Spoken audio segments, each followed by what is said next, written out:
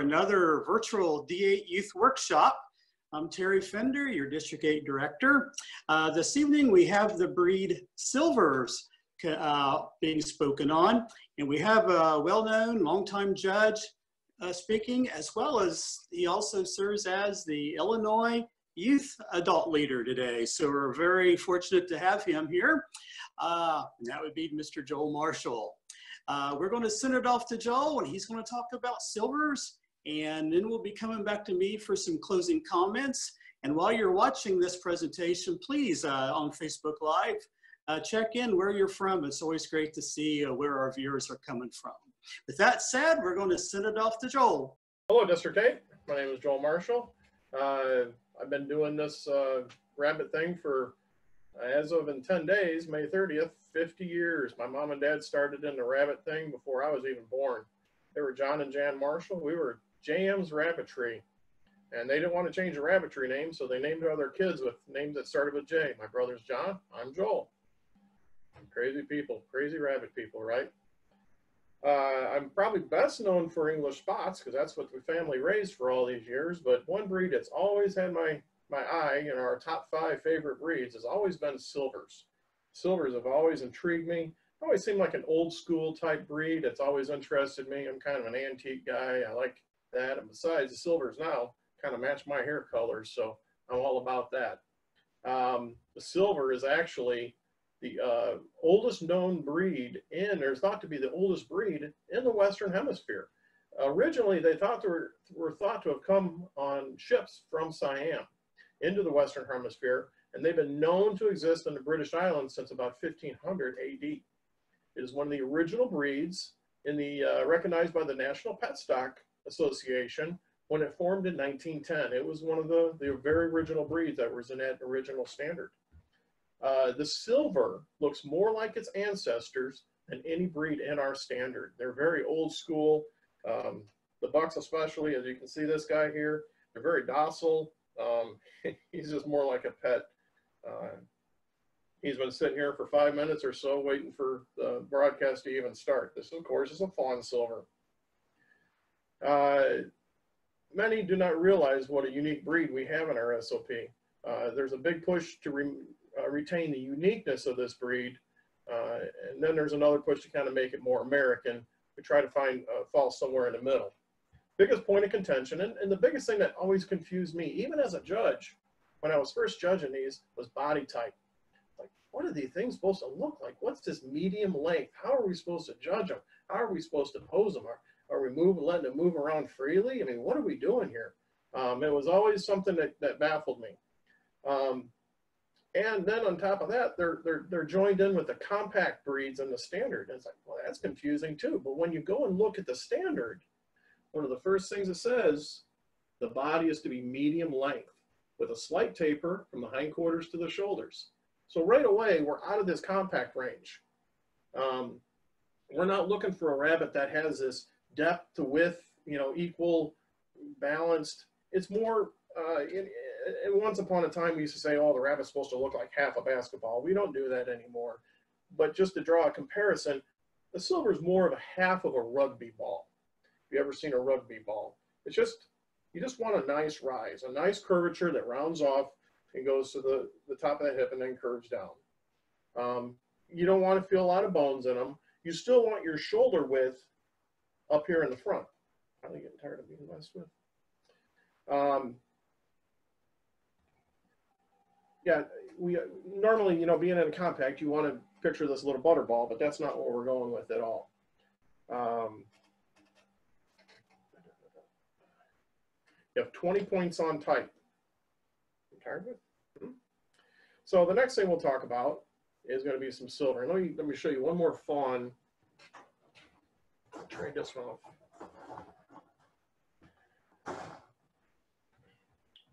She doesn't quite look the same as she did at Reno, but this was actually best of breed at Reno.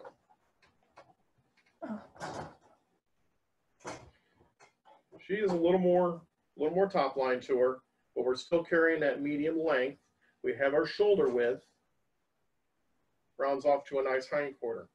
Um, a little bit darker in color. I think she's gotten a little bit darker since Reno even.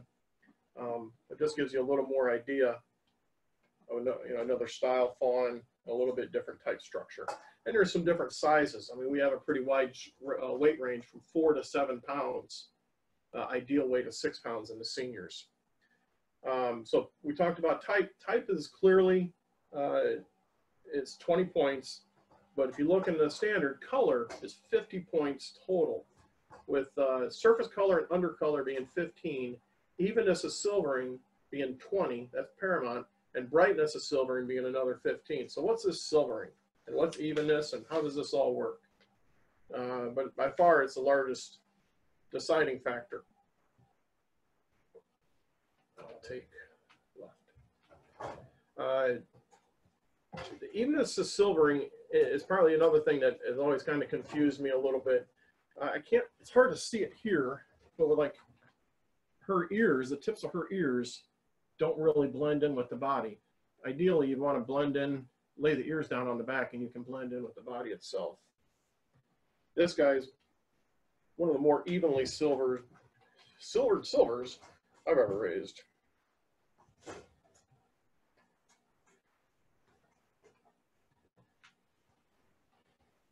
So what are we looking at in evenness of silvering?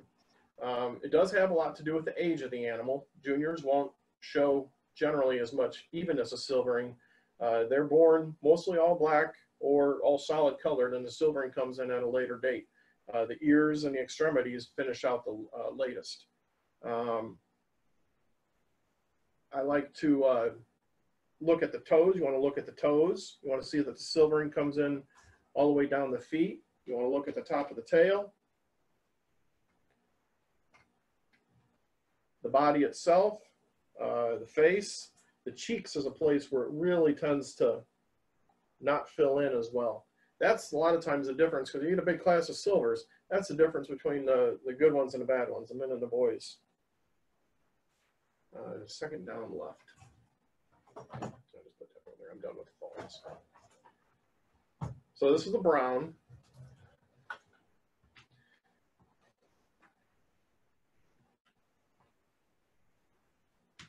This guy is the most evenly silvered, silvered silver I've ever raised. Well, one of the, still one of the best.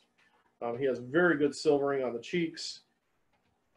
Carries that on the toes, on the top of the tail. This guy was actually best of breed at the Silver National last year. Um, I like to see him round up a little bit better on the hips. Uh, their coat structures are very important too. The silver is actually a, a guard hair and it's supposed to pop out a little bit more and that's what's going to give you that brightness. But in the blacks, you also have to look when you're looking at the evenness and through the chest and belly. The fawns are white underneath, of course, so you don't have that. Um, there's no, uh, it's not about how heavy or how light the silvering is, it's about evenness. There should be no preference given for heaviness or lightness, it's evenness. Um, there's no current language for amount of silvering. I think sometimes the ones that have a little more silvering just tend to give them a little more pop. Uh, try not to have a preference over evenness of lightness. Try to go with just the, the, the evenness period, not, not heavy or light. Uh, the fur is a flyback, short, snappy, laying smooth, and it's going to have a lot of play in how that, that uh, silvering is going to lay out too. Point schedule is fairly even on these guys. Um, so you're really looking for a very well balanced breed. You got 20 on type, 15 on fur, 15 on surface color, 20 on uh, bright evenness of silvering, and 15 on brightness of silvering. So you're, you're pretty much level right across the board. So you're going to try to find an animal that has the best. Uh, I mean, you're going to have to be forgiving, and sometimes in you know in your class, one way or the other. But it's going to be the animal that has the best of all features. Uh, this guy, I said, he's won a national. He won his class in Massachusetts as a junior. Came back the following spring, and was best of breed at the national. He's very consistent as far as being what we're looking for in the silver breed. Uh, I'm going to show you a few other styles. let's talk about brown color. Uh, what really makes the silvering on the browns pop is the black ticking. I don't know. I'll try to get in in this as much. You want a rich rufous undercolor, but when you're when you bring the coat back, you should have a good even amount of black ticking as you do with silvering. Now he's light in his silvering, but I, he's really, really has amazing black ticking. He's a little bit darker in the surface color and it kind of, you can kind of see that. Again, we're going with that medium length body style. The silvers are very slim or very sleek, firm, smooth animals. They should be very muscular, very solid. That coat should be very, that's a short, snappy coat.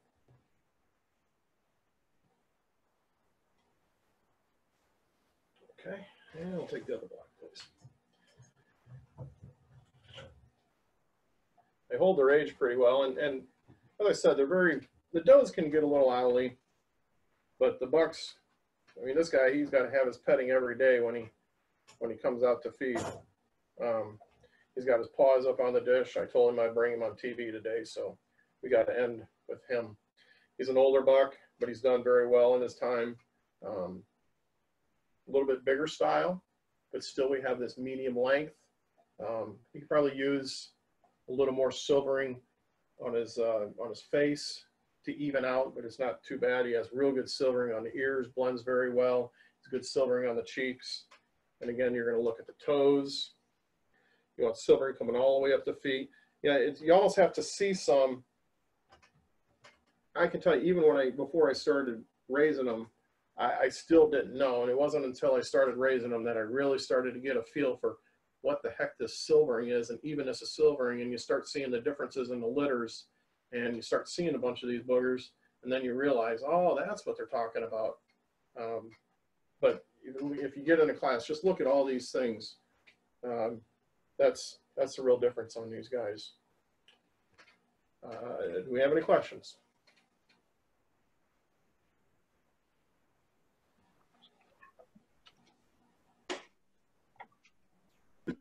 Um, I've got some people in here that have chimed in saying that they're watching you from Kentucky, Australia. I saw Peru. Um, of course, we got, we got Wyoming in here. We've got Indiana, Kentucky, Ohio.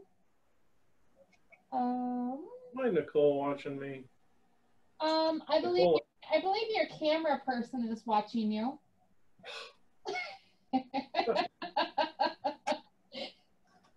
oh, we got New Jersey popping in here.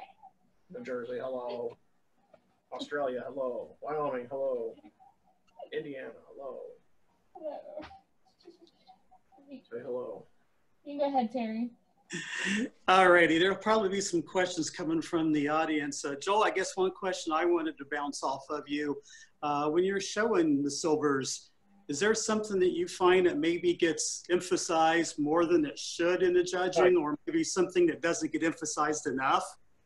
Type gets, I feel, overemphasized, and evenness of silvering gets underemphasized. Okay. You know me, I'm terrible. But no, I, and, and, you know, and I'm a type guy too, and it's hard not to go with that animal with that sleek, you know. And I, I try to carry that, you know, if I'm a type guy to begin with, my animals, and I think you've seen everything I put on the tables here. I mean, these are my brood bucks, except for the one doe. These are my brood bucks. I mean, they have to have type. So I, I, I try to have that basis to begin with. You know, you, you work from the structure up. Um, and, and I hate to say it, you know, but I just feel that there's too many of them that are just judged on type because that's what everybody knows for sure. You know, they, they, they, they know what a smooth body is, but uh, it's just the nuances of the silvering itself uh, that gets to be a little more confusing to a lot. We've cleaned up the standard a lot on silvering from when I first started judging. Um, I can tell you, it was really the old the old standard was not, you know, it was it was confusing. Um, it's it's cleaned up a lot. Great, great. Amanda, do you have any questions coming in that you're seeing? Um, I I have some people saying they're watching from Marietta, Ohio, and then I've got a Wisconsin in here. Marietta, Ohio. I know some people in Marietta, Ohio. Yeah. This is his name's Brian that just said he's chimed in from Marietta. Um, I do have a question in here. It says, how much are silvers similar to the D'Argent breeds, if at all? Uh, just in the fact that they don't have the coloration when they're born. Um, if there's going to be any breed that they're going to be more closely emulating would be the silver fox naturally, other than the size and the coat difference and type difference. But I mean, as far as silvering, um, there is a, you do notice that sometimes there is an area that there is a, a it, what looks to be like a butterfly on these guys, and we really don't want it. And it's been a tough, it's, it, I mean, for hundreds of years, it's been a tough area to fill in. Um, but that, you know, you do see that, of course, uh, the Argents have that as well. But other than the fact that they don't have the color when they're born, that's about it. Okay. I have some people chiming in saying they're watching from Massachusetts and also Minnesota. Massachusetts, hello. Minnesota, Yeah. land of my mom. a lot of family in Minnesota. Minnesota. And um, I've got a question here. It says some silvered breeds like runs and champagnes go through a patchy stage. How does the color how does the color on silvers mature? The blacks and the fawns seem to be doing pretty good. Yeah, I've got browns out there that, yeah, they're like patchwork quilts, you know. Yeah, just like any of them, it seems like there's some of them that'll keep their coats in longer than others. Uh, some will want to do, uh, these guys tend to do more of a slow molt. You know, I don't have the ones that just do the poof, you know, I'm, today I'm okay, tomorrow I'm like, I look like an Angora. Uh, these guys just kind of, their coats just kind of slip out and come in. Uh, but yeah, I do have some patchiness in the Browns. The Browns are kind of known for that.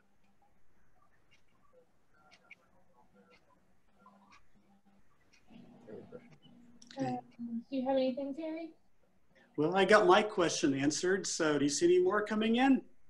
Um, as of right this moment, I do not. Okay.